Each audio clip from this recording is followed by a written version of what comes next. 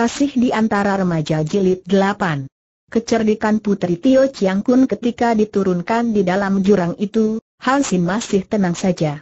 Ia mendapatkan dirinya di dalam ruangan yang merupakan dasar jurang. Baiknya tanah di situ kering dan lebarnya ada 4-5 meter. Di belakang dan depan dinding batu yang amat tinggi, di kiri kanan jurang yang lebih dalam lagi.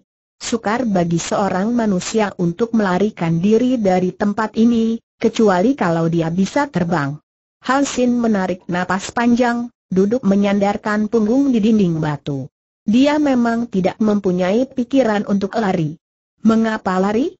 Tentu aku ditahan hanya untuk sementara waktu selagi para tosu ini mengadakan perundingan untuk memutuskan urusan ini, pikirnya. Hawa di situ enak, angin gunung menghembus melalui kanan kiri dinding batu, segar dan sejuk membuat dia mengantuk. Tak lama kemudian pemuda ini tertidur sambil bersandar batu tepat dugaan Hansin. Di puncak Chin Ling San, dua orang tosu murid kepala bersama sutenya mengadakan perundingan mengenai peristiwa yang cukup penting bagi Chin Ling Pai itu. Gadis itu ilmu silatnya lihai juga, dan aneh gerakan-gerakannya. Akan tetapi tenaganya belum seberapa dan ilmu silatnya itu pun belum matang benar, demikian Yap Tojin menerangkan kepada Chin Chu dan Ji Chin. Monyet kecil itu pun hanya gesit saja, apa sih anehnya pada diri seekor monyet kecil? Pemuda itu biarpun sikapnya amat aneh, namun terang dia tidak mengerti ilmu silat. Ini dapat dilihat dari gerak-geriknya, malah ia terguling roboh ketika berlari dan kakinya tersandung batu. Masa seorang ahli silat bisa roboh begini? Akan tetapi, Su Heng, sekali tangkis dia bisa menewaskan Ban Kim Chin Jin. Bukankah hal ini aneh di atas aneh ajaib sekali seru Ji Chin Chu yang tersenyum-senyum terus. It Chin Chu mengerutkan kening. Tidak bisa lain, tentu ada orang pandai yang diam-diam menggunakan kesempatan itu membunuh Ban Kim Chin Jin. Tak mungkin kalau hanya untuk menolong pemuda itu ia harus membunuh Ban Kim Chin Jin, tentu dia sengaja membunuh di daerah ini agar kita bentrok dengan pemerintah Cheng. Inilah hebat, Kenapa susah-susah, T.W. Asuheng kata Ji Chin Chu. Pemuda itu sudah kita tangkap, tinggal serahkan saja dia kepada pemerintah Cheng sebagai pembunuh Ban Kim Chin Jin. Bukankah itu beras dan tangan kita tercuci bersih ucapan ini agaknya memuaskan Chin Ling Sameng, mereka mengangguk-angguk membenarkan. Akan tetapi Chin Chu menggeleng kepala perlahan. Gampang diomongkan, susah dilaksanakan, kenapa begitu, Su Heng tanya Hap Jin. Apa sih susahnya membawa pemuda Sicia itu ke kota raja apa kalian kira pemerintah Cheng begitu bodoh seperti anak kecil? Mereka mempunyai banyak orang-orang lihai.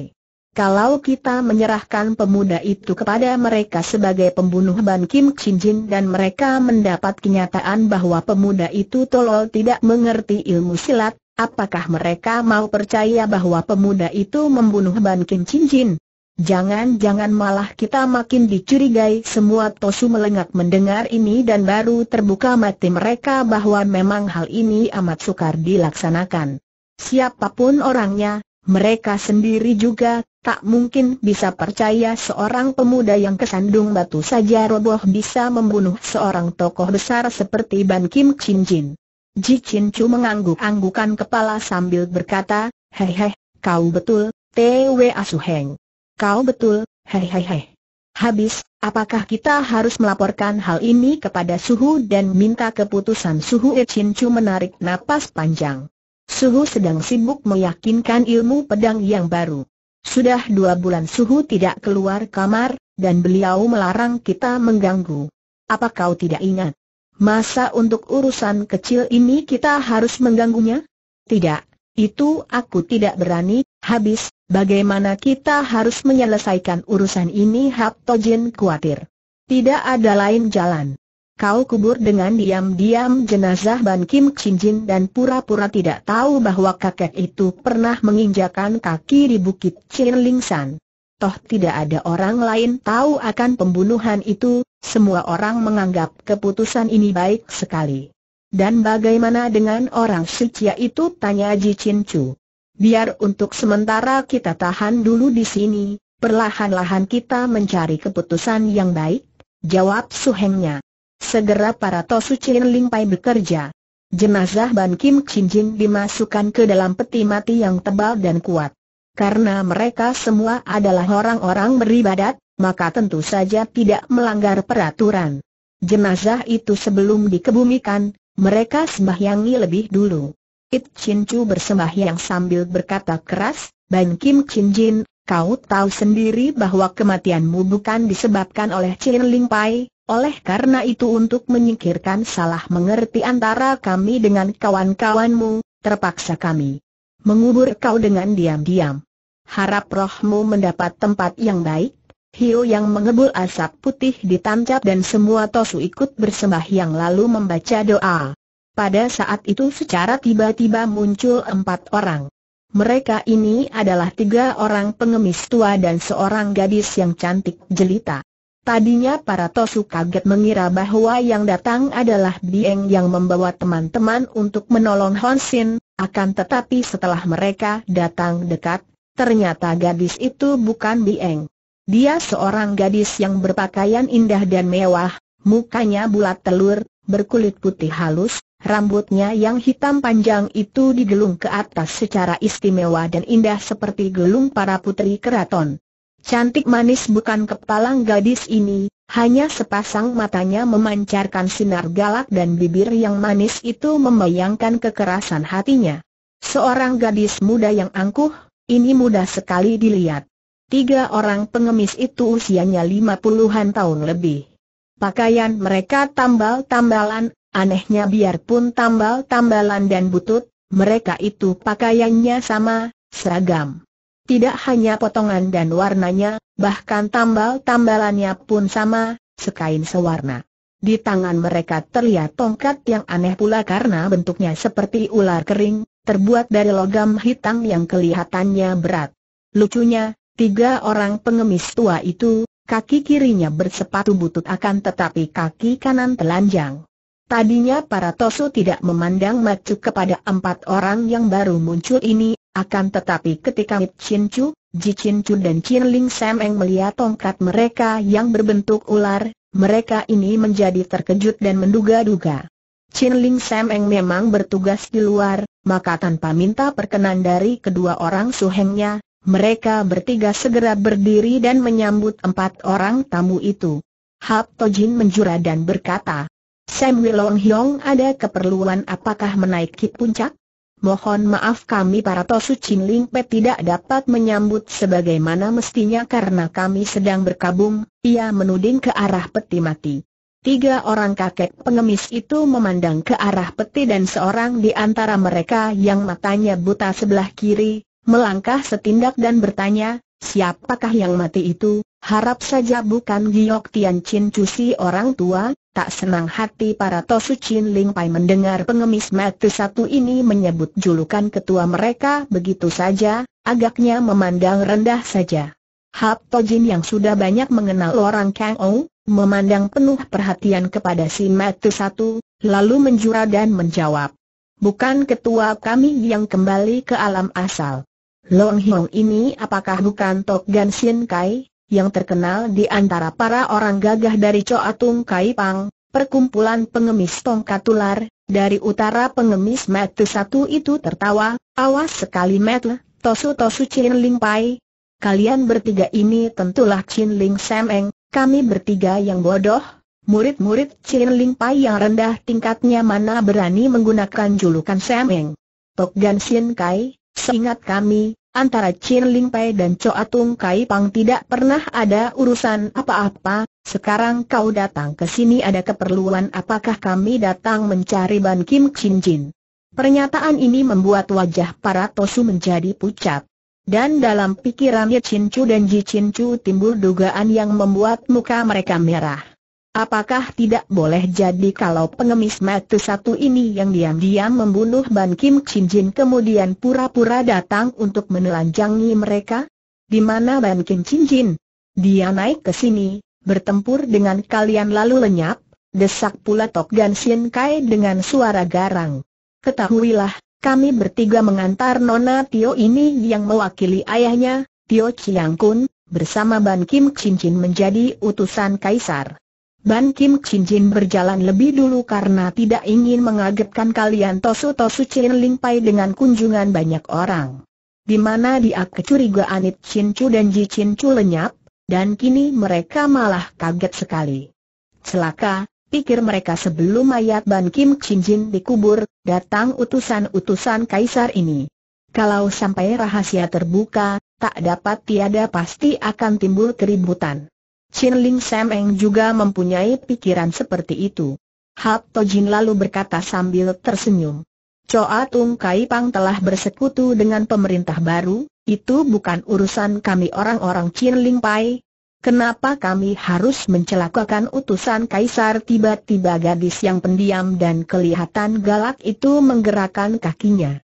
Ringan bagaikan burung walet tubuhnya melayang ke dekat peti mati dan sebelum ada orang menduga apa yang hendak dilakukannya dan sebelum mereka sempat mencegah, gadis itu telah mengayunkan tangan kirinya ke arah peti mati.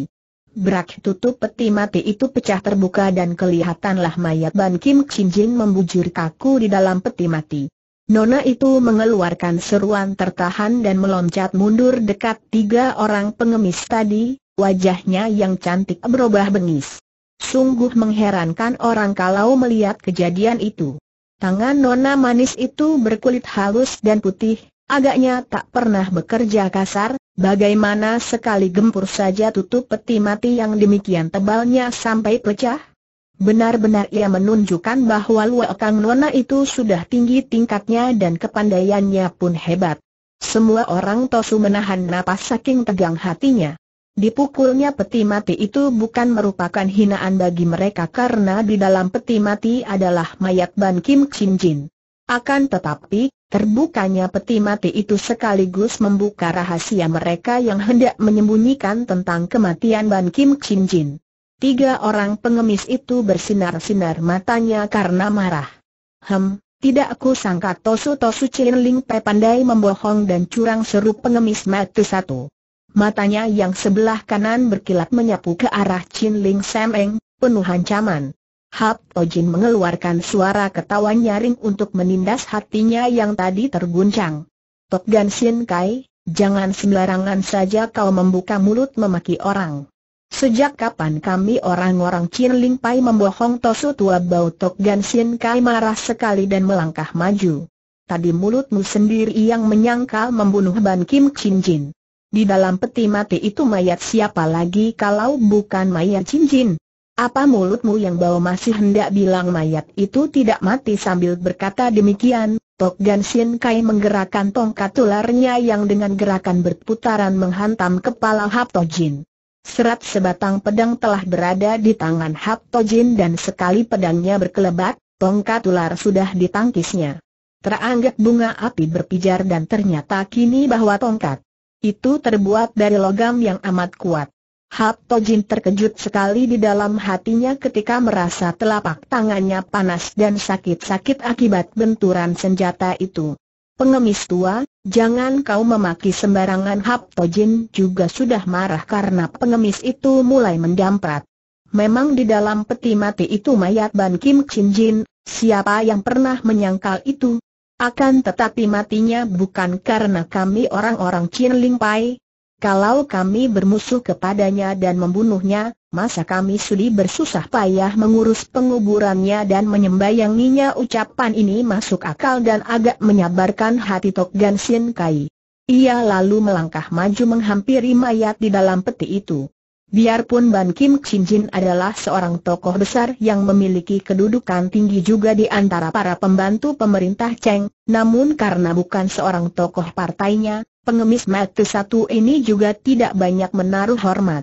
Dengan sembarangan saja ia memeriksa tubuh Ban Kim Chin Jin, membuka bajunya dan melihat di bagian dada itu biru-biru menghitam, tanda bahwa matinya terkena pukulan hebat. Chin Ling Eng, apa kau mau bilang bahwa orang ini mati sendiri tanpa sebab ia mengejek sambil mundur lagi dua langkah? Tok Gan Sin Kai, dia mati dipukul orang. Cuma saja, siapa orangnya, itu kami masih sedang menyelidiki, hem, omongan bayi. Dia adalah utusan pemerintah dan datang ke sini untuk memenuhi tugas. Tahu-tahu dia mati di sini, di antara para Tosu Chin Ling Pai dan kau mau bilang bahwa kau tidak tahu siapa yang memukulnya sampai mati dua orang pengemis yang lain mengeluarkan suara ejekan, dan gadis manis itu, yang tadi disebut Tio Xiao Nona Tio, Putri Tio Chiang Kun, berkata dengan nyaring dan keren. Tosu Tosu Chin Ling Pai kalau sudah membunuh, berlakulah sebagai orang gagah. Sudah berani membunuh mengapa takut mengaku dan menjelaskan sebab-sebabnya? Kami melihat sendiri tadi cincin bertempur dikeroyok beberapa orang Tosu, Chin Ling Pai tidak mempunyai anggota pengecut tukang bohong. Kami selalu menjaga diri dengan pedang, tak pernah menggunakan pukulan curang. Andai kata Ban Kim cincin mati di tangan kami, tentulah matinya tertusuk pedang, kami tahu Ban Kim Chin Jin dibunuh orang akan tetapi belum tahu siapa pembunuhnya. Kalau kalian percaya kepada kami, boleh kalian membawa pergi mayat Ban Kim Chin Jin dan pergi dari sini dengan baik-baik. Kalau tidak percaya, terserah hendak terbuat apa. Aku Hap Tojin mewakili Chin Ling Pai sudah habis bicara ia lalu berdiri dengan pedang melintang di dada akan tetapi menjura dengan hormat. Ini tandanya ia menghormati para tamu akan tetapi tidak mau mengalah atau tunduk begitu saja. Bagus. Memang sudah lama aku mendengar nama besar Chin Ling Semeng yang tersohor gagah dan angkuh. Hendak kulihat sampai di mana kehebatannya sambil berkata demikian, Tok Gan Sin kaya lompat menyerang Hap Tojin. Pengemis buta jangan main gila di Chin Ling San seru Hap Tojin sambil memutar pedangnya menangkis. Di saat itu, berkelebat dua bayangan yang cepat mengurung pengemis mati satu itu, ternyata Hei Tojin dan Tei Tojin sudah maju membantu saudaranya itu. Tahan dulu, harap jangan menurutkan nafsu marah. Urusan ini baik diruntingkan secara damai yang bicara adalah Hit Chin Chu yang bersama Ji Chin Chu semenjak tadi hanya duduk dan mendengarkan saja. Mendengar seruan suheng mereka, Chin Ling Sameng melompat mundur menahan senjata dan berdiri memandang kepada Tok Gan Sin Kai dengan mati melotot.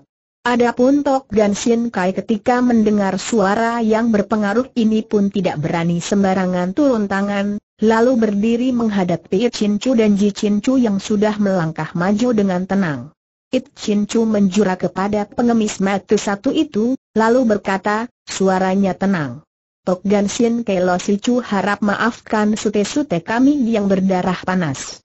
Biasanya, urusan mengenai Chin Ling Pai memang sudah kami serahkan kepada ketiga orang sute kami ini, akan tetapi mengingat bahwa urusan kali ini bukan kecil dan amat pentingnya, terpaksa pinca berdua ikut-ikut, Tok Gan Kai balas menjura.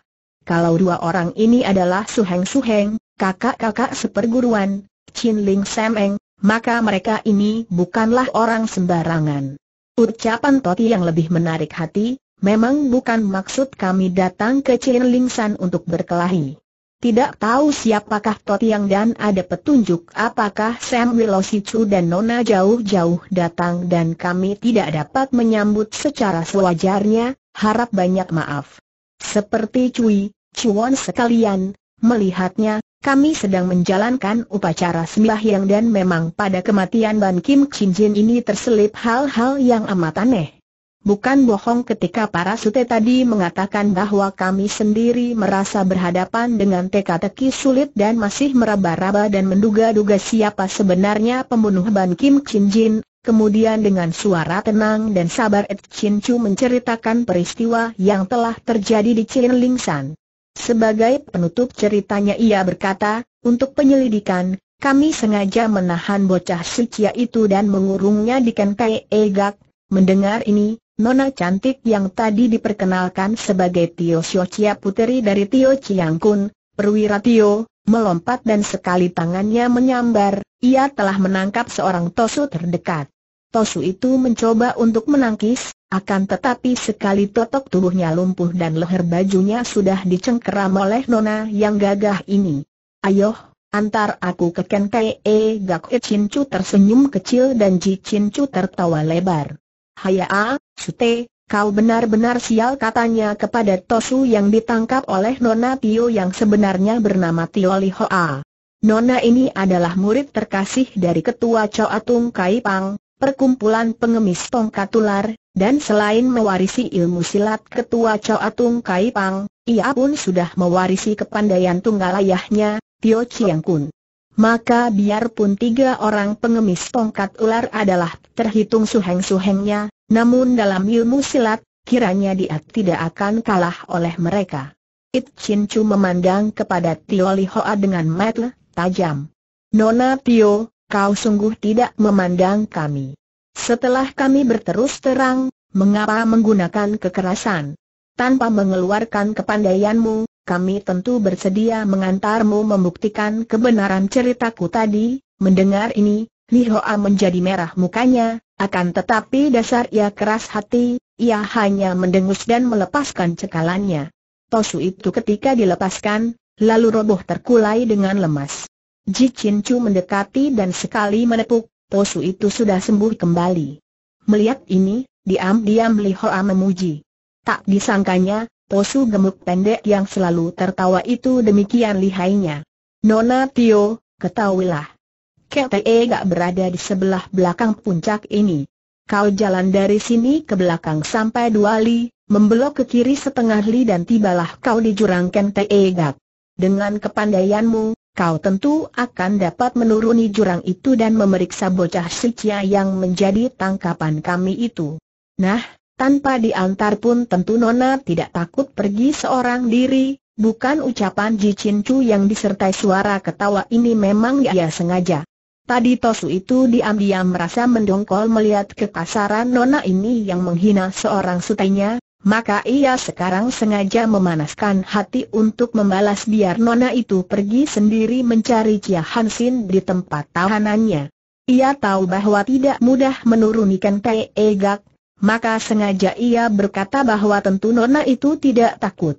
Memang Li Hoa berwatak keras. Mana dia kenal takut? Apalagi setelah orang berkata demikian tentu saja ia malu kalau tidak berani pergi sendiri. Ia tersenyum mengejek, tubuhnya berkelebat dan terdengar suaranya.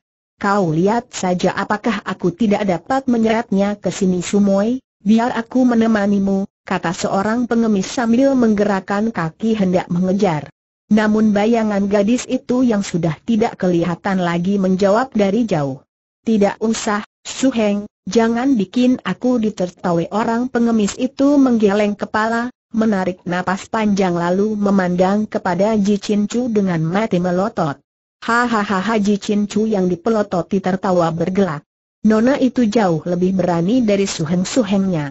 Kagum, kagum tanda seru Chin lalu mempersilakan tamu-tamunya mengambil tempat duduk dan dia lalu melanjutkan upacara sembahyang yang tadi tertunda peti mati ditutup lagi dan upacara dilanjutkan dengan penuh hikmat sehingga tiga orang pengemis tua itu merasa tidak enak untuk mengganggu. Namun diam-diam mereka tidak bisa duduk diam dan hati mereka kebat-kebit kalau mengingat semua mereka yang pergi seorang diri hendak mengambil tawanan yang akan mereka paksa untuk mengaku siapa adanya pembunuh Ban Kim Chin Jin. Setelah upacara sembahyang selesai, It Chin Chu lalu minta kepada Tok Gan Sin Kai untuk menceritakan apakah sebetulnya tugas mereka dan usul apa gerangan yang diajukan oleh pemerintah Cheng kepada Chin Ling Pai. Dengan suara tinggi dan memperlihatkan sikap bangga sebagai utusan pemerintah Cheng, Tok Gan Sin Kai yang kini setelah Ban Kim Chin Jin tewas boleh dibilang menggantikan kedudukannya sebagai pemimpin rombongan, lalu berkata, karena ternyata bahwa pemerintah baru telah diperkenankan oleh Tian, Tuhan, memimpin rakyat, sudah sepatutnya kalau para orang gagah membantu pemerintah baru ini mengenyahkan segala kekacauan dan membantu penertiban di kalangan rakyat. Ada beberapa gelintir manusia tak tahu diri coba memberontak dan membangkang, ah ah, tak lama lagi tentu mereka ini akan digelas hancur. Chin Ling Pai selama ini tidak memperlihatkan sikap bermusuhan dengan pemerintah baru, hal ini amat mengirangkan hati Tio Chiang Kun yang bertugas menertibkan para perkumpulan orang gagah di dunia Kang Ou. Akan tetapi, Totiang, sikap diam tidak bermusuhan saja masih belum sempurna. Untuk mempererat hubungan dan kerjasama demi kepentingan rakyat jelata, Sudah sepatutnya kalau Chin Ling Pai menggunakan kekuasaan dan nama besarnya untuk membantu usaha pemerintah. Dan adalah harapan besar dari Tio Chiang Kun agar Chin Ling Pai suka mencari surat wasiat Li Chu Seng yang lenyap di tangan mendiang Ciasan si pemberontak di Minsan. Tok Gan Sin Kai berhenti bicara dan matanya yang tinggal satu itu memandang wajah Hit Chin Chu dan Ji Chin Chu bergantian dengan sinar mata penuh selidik dan tajam. Namun wajah Hit Chin Chu yang keren itu tidak memperlihatkan bayangan isi hatinya, tetap keren dan tenang, sedangkan wajah Xiao Bin Hut Ji Chin Chu tetap tersenyum-senyum seperti orang kegirangan, tidak ada perubahan apa-apa. Padahal di balik kedok muka ini, di dalam dada dua orang Tosu Chin Ling Pai ini timbul gelombang hebat mendengar ucapan Tok dan Sin Kai. Mereka tahu bahwa dengan Carol Chin memutar, Pemerintah Cheng telah minta bukti dari Chin Ling Pai bahwa perkumpulan ini tidak menentang pemerintah Cheng dan suka melakukan perintahnya. Kalau memang pemerintah baru ini menghendaki surat wasiat itu, mengapa harus minta bantuan Chin Ling Pai dan tidak mengerahkan kaki tangannya sendiri yang banyak dan lihai-lihai? Akan tetapi Chin Chu yang berwatak jujur, tidak sanggup menjawab dan diam saja. Sebaliknya, Ji Chin Chu yang selalu tertawa itu ternyata memiliki otak yang lebih cerdik. Sambil tertawa-tawa ia mengutarakan isi hatinya ini dengan cara memutar pula. Lo Si Chu, kami dari Chin Ling Pai memang tidak mempunyai maksud bermusuh dengan siapa pun juga, apalagi dengan pemerintah yang berkuasa. Juga orang-orang bodoh seperti kami, yang setiap hari hanya menyucikan diri dan sedapat mungkin menjauhi urusan dunia, mana ada kesanggupan dan kemampuan untuk mencari surat wasiat yang demikian pentingnya. Kalau Lau Si Chu sudah tahu bahwa surat wasiat itu berada di tangan Chiang Hiong di Minsan, bukankah kau orang tua tinggal datang ke sana dan mengambilnya saja nama besar Ciasan sebagai keturunan pahlawan dan juga sebagai seorang pendekar besar, biarpun kepandaiannya belum begitu hebat, sudah terkenal di seluruh dunia dan mendapat penghormatan besar daripada para Chiang Bun Jin, ketua, partai dan orang-orang gagah. Maka Ji Chin Chu juga menyebutnya Chia Eng Hiong, pendekar Chia, tidak seperti Tok Gan Sin Kai yang menyebut si pemberontak tadi. Tok Gan Sin Kai tersenyum pahit, dan menjawab, tidak semudah itu, Ji Chin Chu Totiang. Memang kami sudah menyelidik keminsan, akan tetapi puncak itu kosong dan kabarnya dua orang anak keturunan Ciasan sudah turun gunung. Tentu surat wasiat itu mereka bawa pergi, tiba-tiba hati Cincu dan Ji Cincu berdebar, akan tetapi dua orang Tosu yang sudah tinggi kepandaiannya ini dapat menekan perasaan mereka dan wajah mereka tidak berubah sama sekali. Akan tetapi dari pandang mereka masing-masing tahu apa yang terkandung di hati mereka. Bocah yang aneh itu Sucia dan datang bersama seorang adik perempuannya, apakah tidak mungkin mereka itu anak-anak dari pendekar Ciasan? Kalau benar demikian halnya, mereka sebagai orang-orang gagah yang amat mengagumi Chia Huigan dan Ciasan, tentu saja tidak akan membiarkan pemuda itu terjatuh ke dalam tangan kaki tangan pemerintah Cheng. Karena pikiran ini, mereka lalu bersikap tenang dan diam, namun berjanji dalam hati untuk melindungi pemuda itu kalau benar dia keturunan Chia Huigan dan Chia San dengan amat nyaman Hansin yang dihukum di Kentai Egak, ruangan dalam neraka, bukannya mengeluh dan berkuatir, malah tidur nyenyak sekali. Tempat itu yang dia pit batu karang tinggi merupakan terowongan untuk angin gunung maka tubuhnya serasa dikipasi dan sejuk sekali. Setelah kenyang tidur, Tiba-tiba ia bangun ketika telinganya mendengar suara yang amat dikenalnya. Suara kecowetan. Xiao Wong, kau di mana tegurnya? Tak salah lagi, itulah suara monyetnya. Akan tetapi ia tidak melihat monyet itu dan suara monyetnya terdengar dari atas. Tahulah ia bahwa tentu Xiao Wong berada di atas jurang. Tiba-tiba ia menjadi gelisah. Kalau Xiao Wong muncul, tentu muncul pula Bieng. Bukankah monyet itu tadi pergi mengikuti adiknya? Dan kalau Bieng kembali, tentu adiknya yang berwatak keras dan berani itu akan bentrok dengan para Tosu Chin Ling Pai. Xiao Wong. Eng Moi. Kalian pergilah dari sini, biar nanti aku menyusul serunya ke atas. Akan tetapi tidak terdengar jawaban kecuali gemas suaranya sendiri. Malah suara Xiao Wong tidak terdengar lagi. Ia menarik napas lega. Mudah-mudahan mereka mau menuruti permintaanku dan melarikan diri, pikirnya. Pemuda ini sama sekali tidak tahu bahwa ketika ia tadi tertidur, seorang gadis yang cantik telah menuruni jurang itu melalui seutas tambang. Dengan gerakan lincah melebihi seekor kera gadis itu, Tio Li Hoa telah menurunikan Kai E Gak untuk melihat sendiri kebenaran cerita Tosu Tosu Chin Ling Pai tentang seorang pemuda suci yang sudah membunuh Ban Kim Chin Jin. Gadis ini memang cerdik sekali, melebihi para suhengnya, maka begitu mendengar seorang pemuda bersahaja, timbul kecurigaannya. Tidak semata-mata ia hendak menyelidiki kebenaran cerita para tosu itu, melainkan ia menaruh dugaan bahwa mungkin sekali pemuda dan adik perempuannya itu adalah keturunan Ciasan yang sudah turun gunung. Ciasan seorang pendekar besar, tidak aneh apabila mempunyai seorang putra yang berkepandaian tinggi.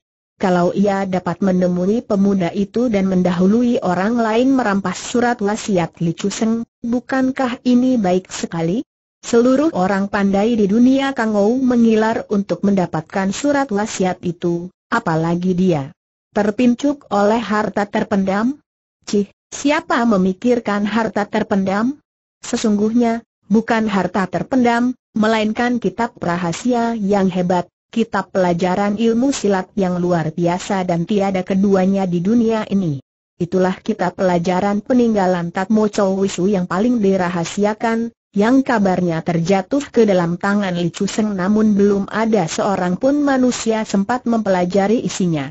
Kitab yang tiada bandingannya di dunia lebih berharga daripada harta dunia yang paling mahal, yang dibuat rindu oleh semua tokoh Kang Ou, Inilah yang membuat gadis cerdik ini tergesa-gesa mencari Chia Hansin karena ia menduga bahwa pemuda ini tentulah putra Chia San dan membawa surat wasiat.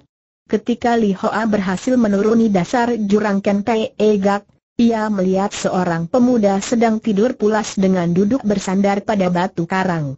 Hatinya terkesiap dan jantungnya berdebar ketika ia melihat Hansin. Tak disangkanya ia akan menjumpai seorang pemuda setampan ini dan segagah ini. Dalam tidur, biarpun dalam keadaan terbelenggu dan berada di dasar jurang dalam, bibirnya masih tersenyum dan pada wajah yang amat tampan itu seujung rambut pun tidak kelihatan tanda gelisah atau ketakutan. Melihat wajah pemuda ini, diam-diam Li Hoa merasa denyut jantungnya menjadi cepat sekali dan kedua pipinya menjadi panas. Aneh, mengapa aku menjadi begini? Demikian pikir gadis itu dengan heran.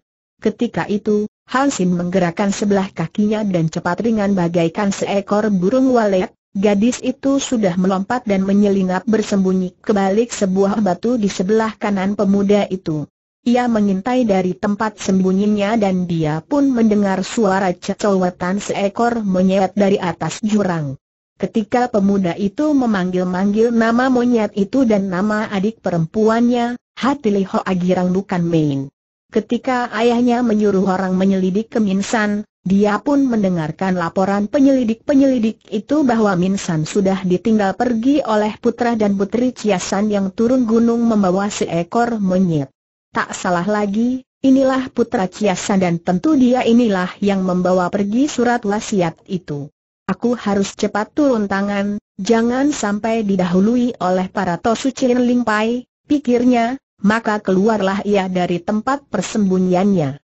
Akan tetapi pada saat itu, Hansin berseru girang dan dari atas meluncur turun bayangan hitam kecil yang merosot dengan amat cepatnya. Li Hoa kaget sekali. Dia sendiri tidak akan dapat meluncur turun melalui tambang secepat itu. Kalau lawan yang datang ini, tentu hebat kepandaiannya. Akan. Tetapi setelah dekat, ternyata yang meluncur itu adalah seekor monyet yang kecil yang kini sudah tergantung-gantung di atas kepala Hansin. Xiao Wong, kau turun juga? Mana nonamu tegur Hansin yang masih belum melihat bahwa kini Li Hoa sudah berdiri di belakang batu. Xiao Wong lebih awas. Monyet ini mengeluarkan bunyi nyaring dan cepat meloncat turun, lalu membalikan tubuh menghadap Li Hoa dengan mulut meringis memperlihatkan taring-taringnya. Baru sekarang Honsin menengok dan ia kaget bukan main. Matanya melongo memandang wajah gadis yang cantik bukan main ini. Bagaimana di tempat ini ada seorang gadis sedemikian cantik manisnya? Tentu seorang dewi dari kahyangan, pikirnya. Kalau manusia biasa, Mana bisa seorang gadis selemah itu menuruni tempat ini? Xiao Wong, mundur kau. Jangan kurang ajar bentaknya keras melihat sikap Xiao Wong hendak menyerang nona itu. Xiao Wong tidak berani membantah perintah tuannya, lalu melompat mundur dan duduk di atas pundak Hon Sin, mengeluarkan bunyi sedih melihat tubuh pemuda itu dibalut rantai-rantai besi yang amat besar dan kuat. Li Hoa melangkah maju dan Hon Sin segera mencium bau harum yang keluar dari pakaian gadis itu yang indah dan mewah. Melihat dandanan dan sanggul yang indah luar biasa itu, Han Sin tidak sangsi lagi bahwa ini tentulah seorang dewi. Ia sering kali membaca dongeng-dongeng tentang dewi dan dewa, maka cepat ia berlutut, dan mengangguk-anggukan kepalanya sambil berkata, hamba Chia Hansin yang penuh dosa mohon ampun bahwa hamba tidak dapat menyambut kedatangan Dewi yang bijaksana. Ia mengira akan mendengar jawaban yang merdu dan berpengaruh seperti layaknya suara seorang Dewi, akan tetapi alangkah herannya ketika ia sebaliknya mendengar suara ketawa kecil cekikikan karena geli hati. Celaka, pikirnya, teringat akan dongeng-dongeng dalam buku-bukunya, kalau Dewi tidak pernah tertawa seperti ini, kecuali seluman. Dia seluman. Ia memberanikan hati dan mengangkat muka, akan tetapi tidak melihat gadis itu tertawa lagi, melainkan melihat wajah yang keren, cantik sekali, dan agung.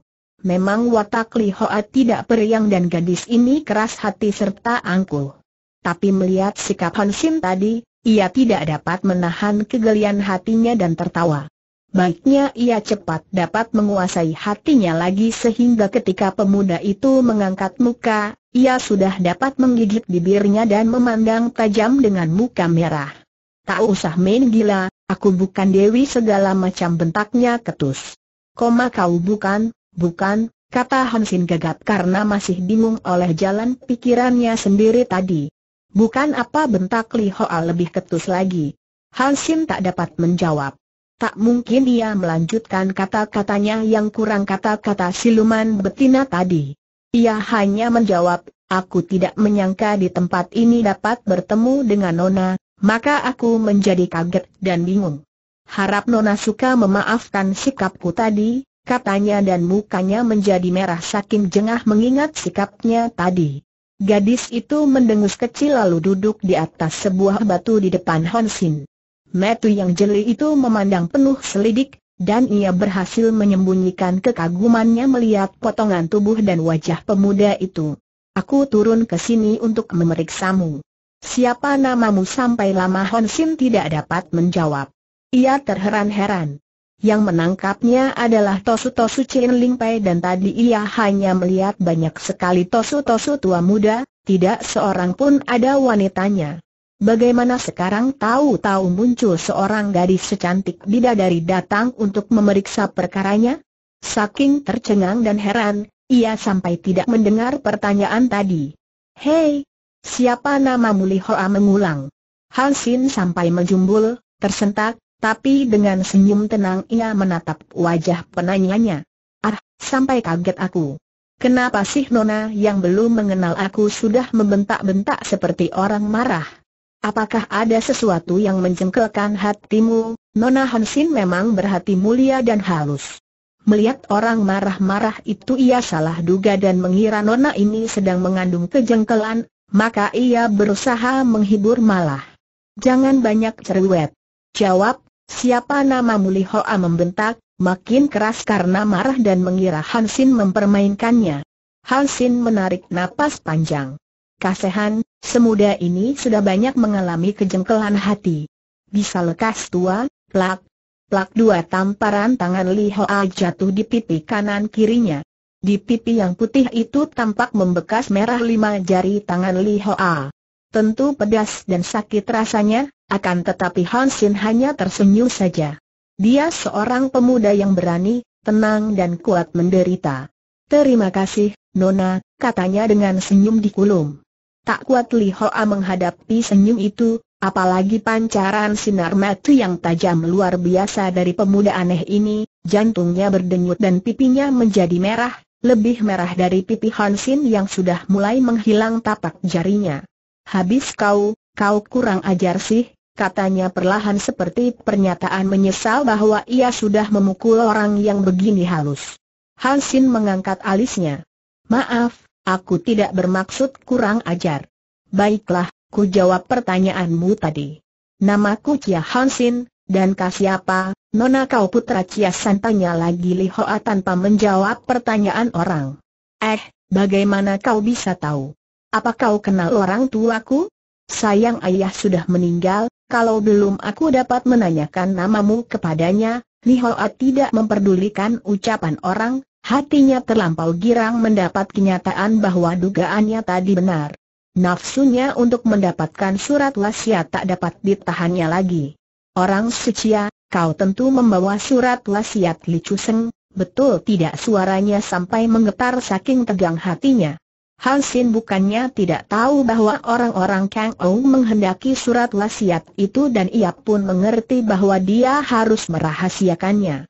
Akan tetapi melihat seorang gadis cantik dan muda seperti gadis ini juga ikut memperebutkannya, ia menjadi penasaran. Ia tertawa masam dan menjawab, Eh Nona, kenapa kau tahu segala? Tahu ayahku, tahu tentang surat wasiat segala. Benar-benar kau hebat, Siapa si kau nama Kuli Hoa, si Tio? Chia Hansin, tahukah kau bahwa jiwamu terancam karena kau membawa-bawa surat wasiat itu? Semua orang jahat di dunia menghendakinya. Kau pun dikurung di sini karena kau menyimpan surat itu. Kau berikanlah kepadaku dan aku akan bantu kau melarikan diri dari tempat ini. Tiba-tiba sikap Li Hoa menjadi manis sekali, ramah dan kerling matanya memikat. Kini Hansin tertawa sungguh-sungguh. Hahaha, begini baru manis kau, Hoa. Orang secantik engkau memang seharusnya ramah tamah, baru patut. Akan tetapi kau tadi bilang bahwa orang-orang jahat di dunia menghendaki surat itu, kurasa kau keliru. Bukan hanya orang-orang jahat, malah orang-orang baik dan cantik seperti engkau sekalipun menghendakinya.